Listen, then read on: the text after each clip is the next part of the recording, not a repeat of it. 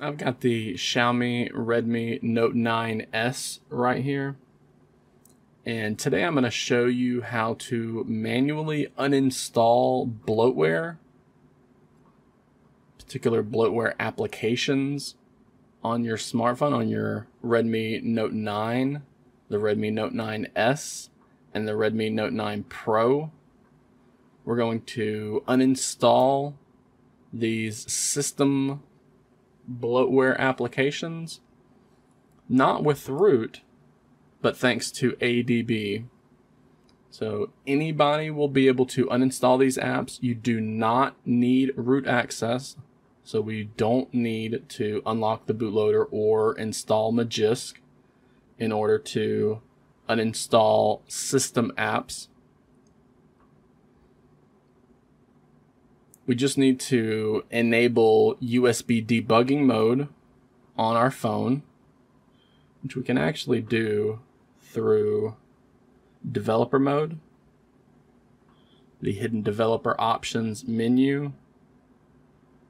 From here, if you scroll down a little bit, you're going to see a USB debugging toggle. We just need to enable that. And then we need to grant USB debugging mode access from our PC to the Redmi Note 9 after we have started the ADB service on our PC and connected the phone to the PC.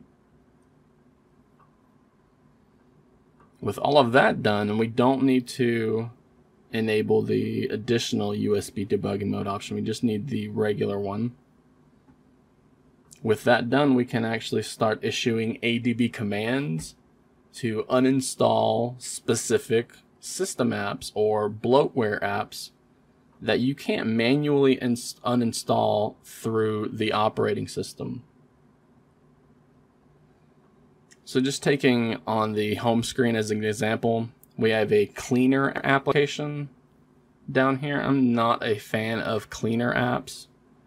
So we can try to uninstall it but it's only going to give us the option to remove it from the home screen. So I've gone into the Google Play Store and downloaded an APK package name application. This one particular is just called APK Analyzer. There are a bunch of free ones in the Play Store. Just grab one that will show you the package name for applications you currently have installed.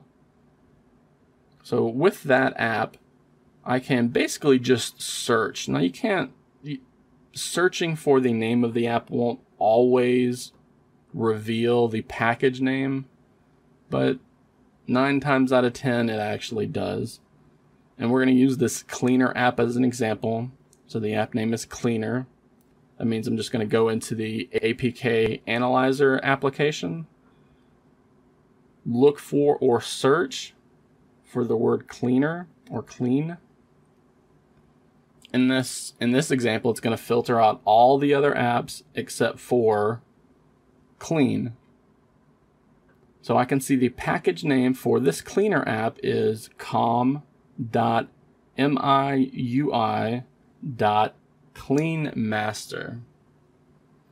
So all I need to do is take that package name, that com.miui.cleanmaster, and I need to type that in to the command prompt that I already have set up on the PC. So I've shown you how to install ADB and Fastboot tools and how to open up a command prompt in previous tutorials. If you're not familiar with how to do that, check the video description and I'll be sure to link to that specific tutorial.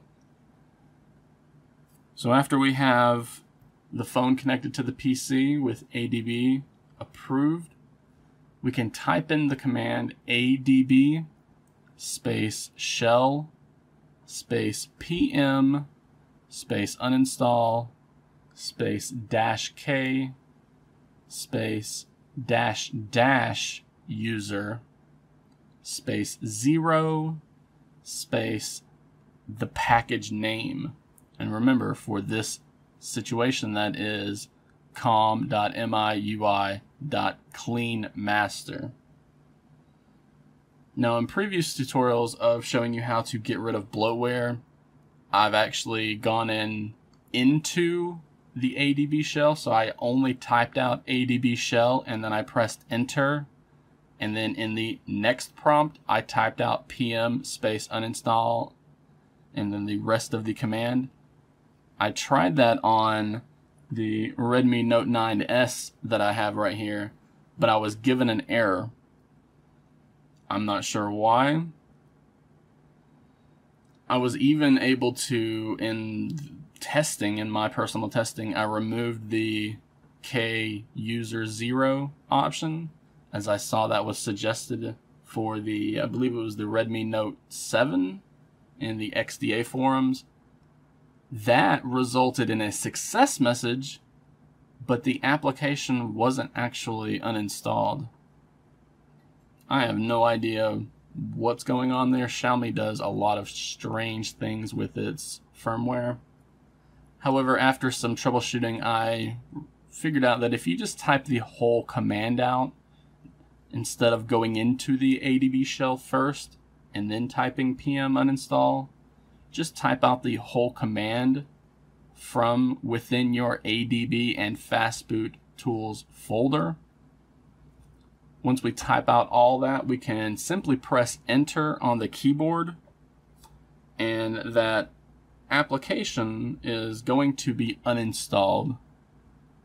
So you, you can see the full command here. I'm going to bring you back to the phone and show you what happens when we press enter. So we are back at the phone, but I'm just going to go ahead and press enter at the keyboard. And even from within the APK package name app, you should see it refresh and remove the app whenever I press enter. I get a success message within the command prompt after I press enter. So you're going to see that application refresh and be removed from your APK analyzer. You can even search for it again if you want. You can see it's not there. However, if you're using the stock launcher that comes with the Xiaomi Redmi Note 9 series, you're likely going to see that application icon still be there. Whenever we try to open it up, it's going to tell us that it's not installed on our device. And that's because we have uninstalled it from the current user.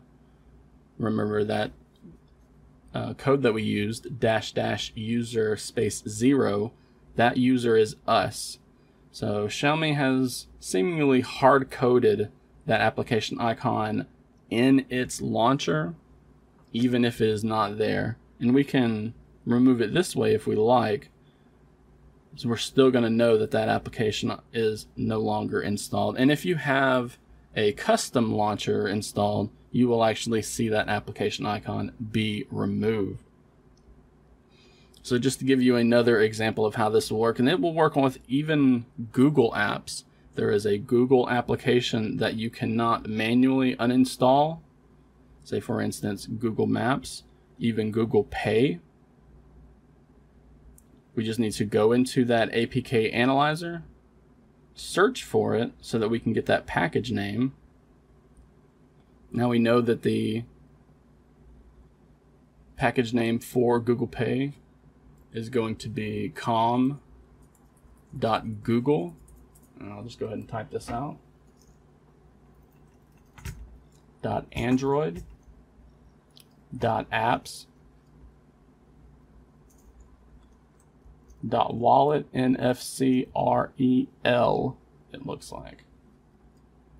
So that whenever I press enter on the keyboard after typing in that long command, that ADB shell pm uninstall and I'm going to have that whole command in the video description.